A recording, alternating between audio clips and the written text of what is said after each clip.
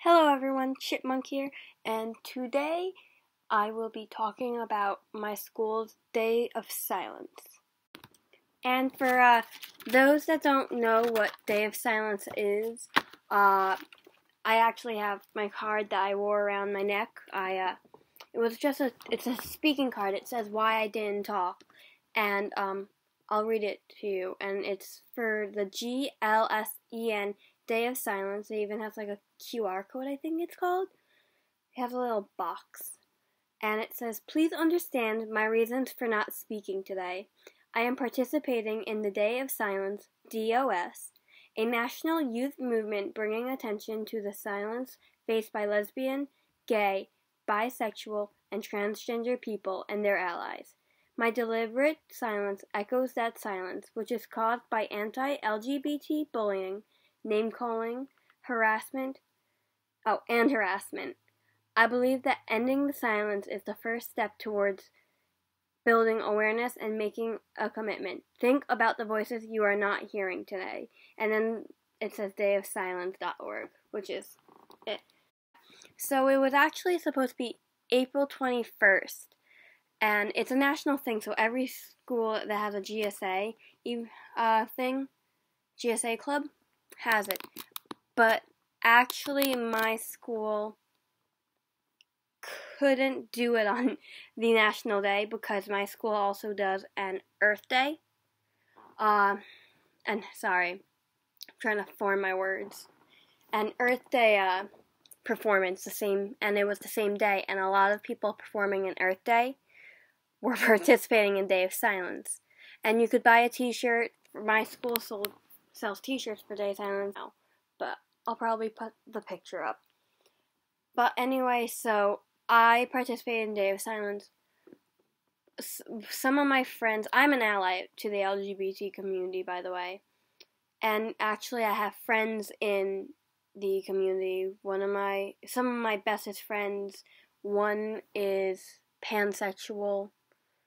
The other one is a Demi Girl, and I think she also is pansexual. I'm not 100% sure. She posted about this a while ago. She has a pride flag in her um, room. But yeah, it was very eye opening to see.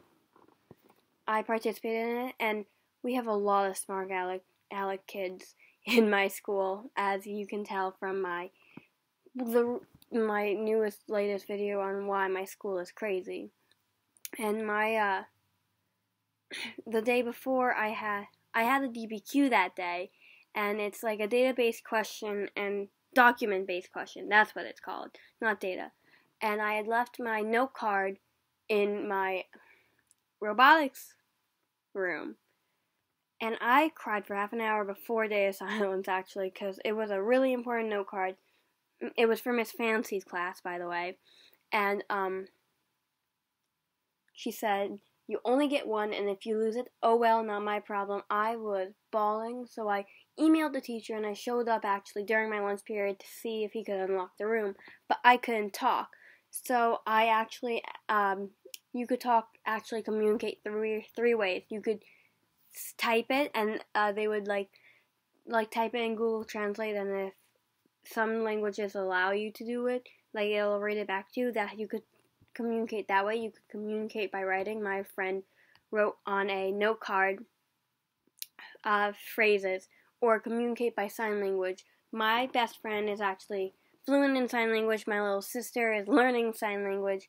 And so I know uh, some sign language. I knew how to say, um, I need to go to the bathroom. I need to go to the nurse um, shut up, idiot. I used that a few times because I had w- went into the room and I couldn't talk, and my teacher had no idea why. He was a bit dense.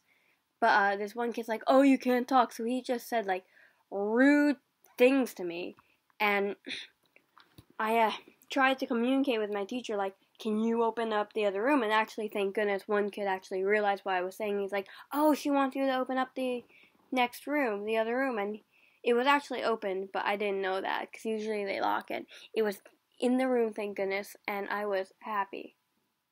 And but of Silence was really eye opening. I had I was sick last year and I didn't want to participate. I it's not I didn't want to participate. I couldn't participate because I had like a huge presentations that day and whatnot.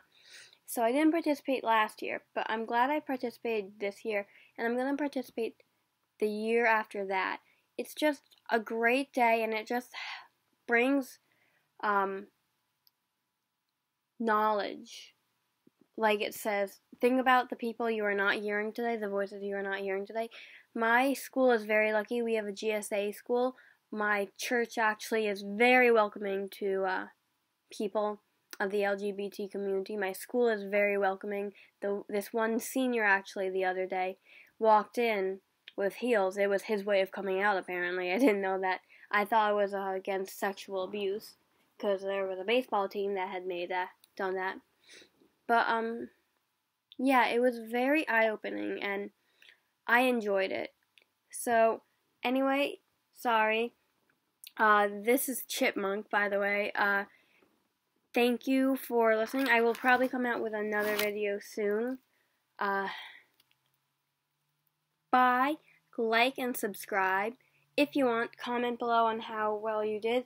Well, I did. And uh, if you had participated in the LGBT uh, Day of Silence, it's also for um, child abuse. No, child trafficking. Trafficking. Because my cousin participated in that for child trafficking.